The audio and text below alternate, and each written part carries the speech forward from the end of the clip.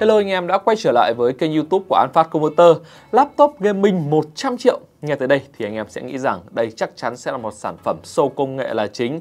Thế nhưng Asus bảo không, laptop trăm cổ nhưng lại là một sản phẩm thương mại hoàn chỉnh với đầy đủ Hoặc thậm chí là thừa thãi so với nhu cầu chơi game. Và đây là Asus Zostrix K17 Dòng laptop chơi game cao cấp nhất, mạnh mẽ nhất và có nhiều điểm thú vị nhất của Asus tốt một yếu tố là laptop gaming cao cấp thì có những cái điểm gì đặc biệt? Thứ nhất là mình sẽ nói về phần cấu hình. Thì SK17 phiên bản mình đang có đây được trang bị cấu hình gần như là mạnh nhất với CPU Intel Core i9 12950HX với 16 nhân và 24 luồng xử lý, đồ họa là RTX 3080 Ti, 32GB RAM DDR5 và SD 2TB. Với một cấu hình như vậy thì mình xin khẳng định rằng đây là cấu hình gaming cao cấp nhất dành cho laptop. Và dĩ nhiên khi mà anh em chơi game, chúng ta cũng không cần phải nhìn setting. Với hầu hết những cái tựa game ở trên thị trường, anh em hoàn toàn có thể bật máy lên và chơi ngay lập tức cực kỳ nhanh gọn. Tuy nhiên, với một cấu hình cao cấp, hiệu năng mạnh thì anh em sẽ suy nghĩ tới một yếu tố đó là nhiệt độ. Nhiệt độ của laptop gaming thông thường sẽ được xử lý thông qua hai phần, phần mềm và phần cứng.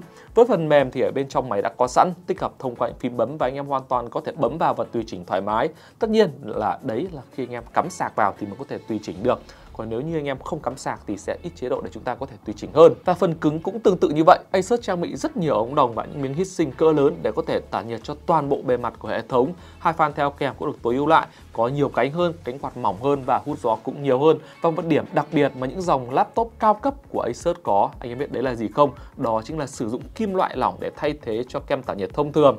Vì thế, anh em sẽ không cần phải đắn đo xem nhiệt độ của máy đã hoàn toàn gọi là ổn định hay chưa, bởi vì vốn dĩ đã là tối ưu từ lúc lúc sản xuất rồi và anh em chỉ cần bật máy chơi game và sử dụng thôi.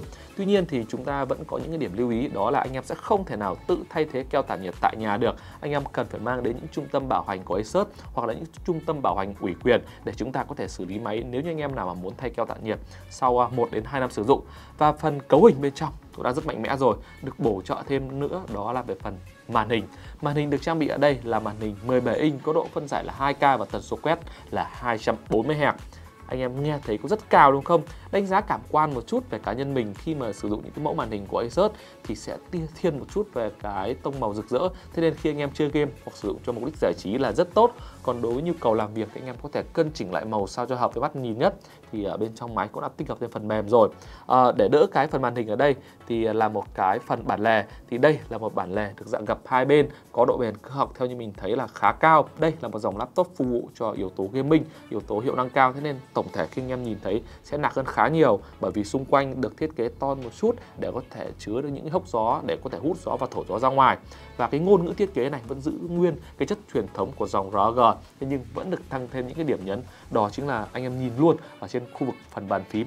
Có được trang bị một phần tấm nhựa cứng để chúng ta có thể nhìn xuyên xuống cái phần linh kiện ở bên trong. Tất nhiên thì là Acer cũng đã che chắn lại rất kỹ rồi. Chúng ta chỉ nhìn thấy một phần thôi. Thế nhưng đây cũng là một điểm nhấn để chúng ta có thể suy nghĩ. Và phần điểm nhấn thứ hai, đó là phần mặt lưng. Khi mà anh em nhìn mắt thường thì sẽ khá là khó để có thể nhìn thấy. Khi chúng ta nhìn thật gần thì mới có thể thấy được. Nhưng anh em khi chiếu một cái đèn UV mà Asus tặng kèm vào thì chúng ta sẽ nhìn rõ là những cái họa tiết.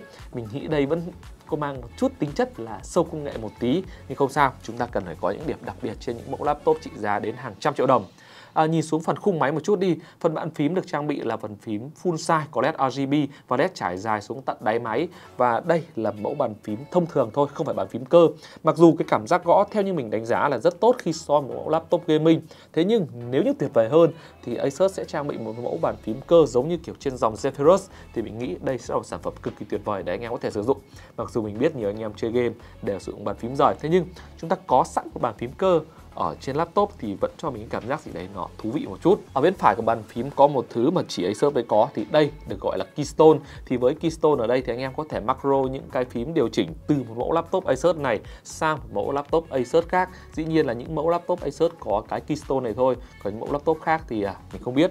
Thì với những cái thiết lập đã có sẵn trong keystone và khi anh em để vào máy thì ngay lập tức chỉ mất khoảng một vài giây thôi thì những cái thiết lập của chúng ta thì LED RGB phím macro sẽ được cài đặt vào bên trong máy cực kỳ tiện lợi để chúng ta có thể sử dụng.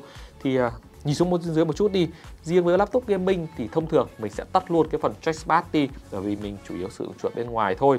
Nhưng với à, một dòng laptop đến 100 triệu chúng ta vẫn cần phải nói qua một chút về phần touchpad. Touchpad đây có kích thước khá lớn so với mặt tổng thể à, cảm giác gì cũng mượt mà và cái chất lượng build là cực kỳ tốt. Thế nên nếu như anh em nào mà mang ra ngoài sử dụng chúng ta quên mang theo chuột thì cái touchpad này vẫn có thể sử dụng được rất tốt để chúng ta có thể thao tác những cái à, công việc bình thường thôi. Còn anh em chơi game thì uh, chơi game bằng touchpad thì hơi hardcore đấy.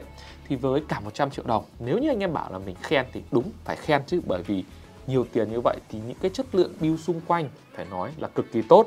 Và thêm vào đó là những cái cổng kết nối thông thường cũng rất nhiều. Những gì anh em cần thì Asus ROG Strix K17 đều có. USB Type A, Type C, HDMI, cổng mạng LAN. Tuy nhiên thì với cổng USB Type-C thì đây là hai cổng Thunderbolt 4 và sẽ có hỗ trợ giao thức Power Delivery. Thế nhưng mình khuyên anh em là chúng ta nên sử dụng cục nguồn theo kèm bởi vì cấu hình ở bên trong máy khá khỏe và với một cổng USB Type-C sẽ đóng vai trò chữa cháy dành cho anh em thôi. Anh em đi ra ngoài mà chẳng may thiếu sạc thì chúng ta có thể sử dụng cổng Type-C bởi vì cổng Type-C sẽ cung cấp được tối đa là 100W. Tất nhiên thì lúc đấy anh em sẽ không thể chơi game được bởi vì chơi game cái 100W cắm vào sẽ hơi ít đấy. Có một điểm đặc biệt này, theo truyền thống của RG luôn đấy là chúng ta sẽ không có webcam, mặc dù là Asus có thể trang bị ở cạnh trên, cạnh dưới, hoặc thậm chí là để luôn trên khung bàn phím một cái webcam. Thế nhưng với dòng ROG thì Asus nói không. Có thể là bởi vì những người dùng cơ bản ấy, họ sẽ chơi game, họ không cần webcam đâu. Còn những bạn nào muốn livestream thì hoàn toàn có thể mua webcam rời để có thể đảm bảo được chất lượng khi mà livestream, hoặc là có thể cắm vào khi sử dụng, hoặc là rút ra nếu chúng ta không cần thiết và không webcam thì chúng ta cũng sẽ bảo mật hơn, không sợ bị hack, kiểu người ta nhìn trộm mình, bởi vì họ làm gì có gì để nhìn trộm mình đâu. Ở bên trong vỏ hộp nữa, quà tặng kèm laptop trăm triệu không có quà thì hơi phí, thì chúng ta sẽ có những cái điểm thú vị có thể nhìn thấy được luôn. Ở đây là cái keystone. Cái keystone mà khi anh em sử dụng thì anh em sẽ không nhìn thấy ở trên phần bàn phím đâu, mà keystone sẽ được tặng kèm ở bên trong cái phần móc khóa. Anh em có thể lấy ra và sử dụng khi cần thiết và chúng ta có thể cất đi bởi vì cái keystone đây được dính vào bằng nam châm. Mà khi anh em sử dụng không để ý, chỉ cần gặt tay nhẹ thôi, chúng ta cũng có thể đánh mất cái keystone này. Thì lúc đấy sẽ là hơi phí và đáng tiếc bởi vì chúng ta mua ngoài cũng khá là khó. Ở bên trong vỏ hộp chúng ta cũng sẽ có thêm một vài thành phần linh kiện nữa. Như ở đây, anh em có thể nhìn thấy được là cái phần khe hút gió đây. Chúng ta có một thành phần có thể tháo được ra và chúng ta sẽ có tổng cộng là hai miếng nữa để chúng ta có thể thay vào theo cái tông màu của laptop mà anh em mong muốn. Và vào dòng laptop gaming cao cấp, bàn phím thì có sẵn rồi chuột anh em cũng không cần phải mua theo luôn, bởi vì chuột đã được Asus tặng kèm rồi. Anh em có thể lấy ra sử dụng để chơi game luôn, cực kỳ tiện lợi. Và dĩ nhiên túi chống sốc là không thể thiếu. Vậy thì nếu như anh em có 100 triệu đồng thì anh em có mua laptop Asus ROG 6 K17 hay không? Bởi vì đặc trưng của laptop là mang đi mang lại và đặc trưng của game thủ là chúng ta thường xuyên chơi game và dòng K17 là laptop và có cấu hình cao để chơi game, tức là rất tốt để chúng ta có thể mua. Tuy nhiên, mức giá của sản phẩm cũng sẽ là một thử thách dành cho anh em game thủ đấy. Còn nếu như anh em mà đam mê thì đường link mình sẽ để ngay dưới phần mô tả video để anh em có thể click vào những sản phẩm cao cấp như này. Anh em có thể là không mua ngay, chúng ta cũng có thể mua trả góp thì bên An Phát hỗ trợ đầy đủ hết anh em qua An Phát và múc ngày em nó về thôi. Bởi vì sản phẩm số lượng có giới hạn thôi mà. Đừng quên để lại ý kiến ở ngay dưới bình luận video. Hẹn gặp lại anh em trong những video sau.